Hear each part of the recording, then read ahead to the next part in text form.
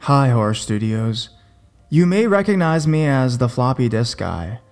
I'm sending you some of my stories. My first one. In seventh grade, I owned an iPod Nano, a fairly odd one. It did not have any alarm clock features. I was playing computer in the office, down the hall from my bedroom. My iPod was on my speaker, which only consisted of a power button and two buttons to control the volume. My iPod just randomly started playing music. I was home alone, and even if someone had turned it on, I would have heard them moving around my room. My second one. In fourth grade, I was over at my friend's house. I'll call him AD. Since we were both in fourth grade, we were immature and highly imaginative, so that makes me doubt the legitimacy of what happened. Although this is unrelated to the story, there is an interesting feature about his house. In his room, inside his closet, there is an entrance to a room. Thinking back, it was likely the space between the wall of the rooms inside the house and the roof. It had writing from the previous owners of the house. Like the average fourth grader, AD thought his house was haunted. He told me a story of how a babysitter was over, watching him and his brother. If I remember correctly, he said something flew across the room into a glass, or maybe it was the glass that flew across the room. So his claims that his house was haunted seemed to have some merit. Anyways, we were in his basement, with all the lights turned off. We were interested to see if something would happen. We had shut the door at the top of the basement stairs, so the only light came from the windows at the far end of the basement hallway. Nothing happened, so we climbed the stairs to turn some of the lights back on. Just before I reached the top of the stairs, I saw a blinding flash of white light. My friend didn't see it, and it was unlike me to imagine such a thing. I'm still not sure if I witnessed something paranormal or really just imagined it. The third story. I'm not sure when this next story happened. I have a hard time remembering some of the details. It would have been since Christmas in 8th grade, because that's when we got our dog, and he was with me at the time. Anyways, it was just me and my dog home. I was in bed, probably doing something on the computer when I heard, if my memory is correct, the sound of someone opening a door and walking, walking inside maybe, directly below me. My dog heard it too. Nobody had actually come into the house, and it's likely that it's the sound of neighbors opening their side door, which faces the north end of my room. It seemed too loud to be the neighbors, though, since I can't think of any instances when I've heard them opening their doors outside. The fourth story. This was in the winter of my freshman year in high school. It was around 9 at night, and I was in the family room practicing a dance routine or some sorts for gym class. I did not want to perform tomorrow, but I knew that I had to practice so I could make it as painless as possible. My dog was with me. From where I was standing, I can look south into the kitchen and see through the kitchen windows on the south side of the house, next to the driveway. For whatever reason, I was looking this direction, and I saw what looked like the red brake lights of a car passing by through the window and out of view heading in the direction of the garage. It was so dark out, so I just saw the lights, and not the body of the car, though this didn't bother me.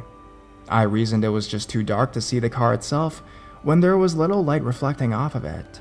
My parents weren't home, so I expected the lights to be them returning. My dog saw the lights as well, or he at least seemed to perk up. He often knows if someone has pulled into the garage, even if he doesn't see the car itself. I stopped my practice and waited for my parents to come inside, but they never did. I waited several minutes, but no sign of my parents. I decided I would take action. I grabbed a large pocket knife and went outside to investigate. There was no car to be found. I walked around the garage and the backyard, but found absolutely nothing. Had I found an intruder, I doubt I would have had the courage to harm them with my knife. It was mostly just to intimidate them.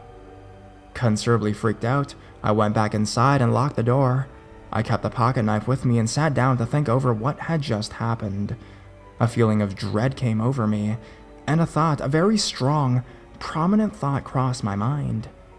I thought about killing myself, and then my dog with my pocket knife. While I suffered and continued to from depression, and sometimes thought about suicide, it was very out of character for me to actually think about how I would kill myself. I normally just thought about the idea in general before forcing it from my mind. I told my parents what happened when they got home, and I would later ask my mom to take my pocket knives and hide them somewhere so I wouldn't be tempted to hurt myself with them. While I cannot prove that the thoughts of suicide were connected to the event, I have a reason to believe that they were. Since I had the knife with me, maybe it was just a fleeting thought to get out of doing this dance in gym tomorrow. But that doesn't explain why I, I also thought about killing my dog as well. For those of you who are reading or hearing this story who are concerned about me, I promise you that I did not hurt myself, and it's behind me now. The fifth story. My memory is pretty bad on this story. I was on the phone with my friend in the very room where I am typing this story now.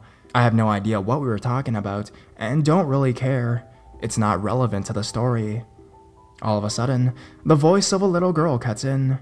She only said a few words, and I cannot remember at all what she said.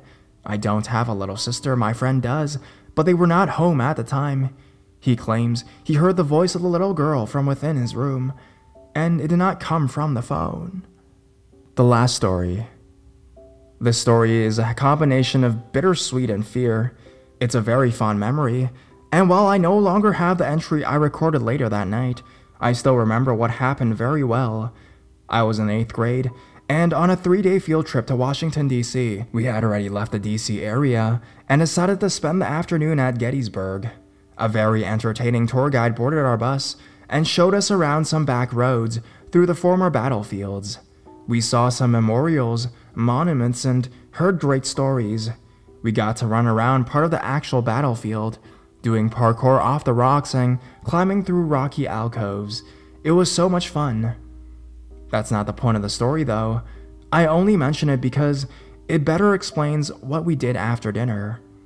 After dinner, we went on a local ghost tour inside and around the house of Jenny Wade, the only civilian killed during the Battle of Gettysburg.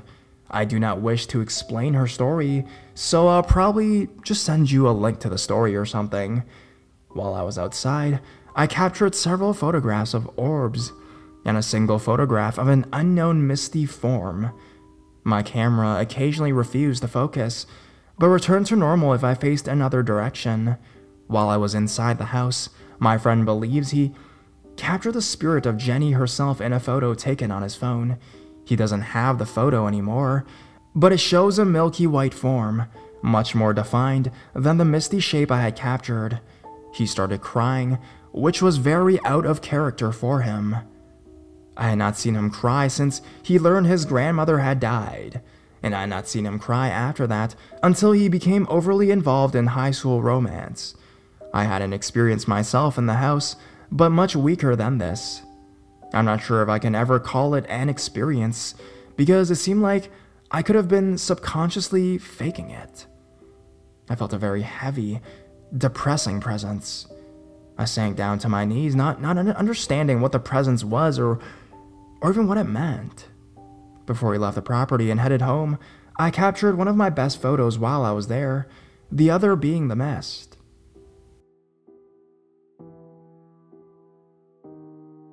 Hope you enjoyed your weekend. Look forward to the next live stream so I can fuck shit up again. If you're interested, I uploaded a narration of my first attempt at a creepy pasta. I wrote it two years ago, so for some reason decided to upload it floppy disk man.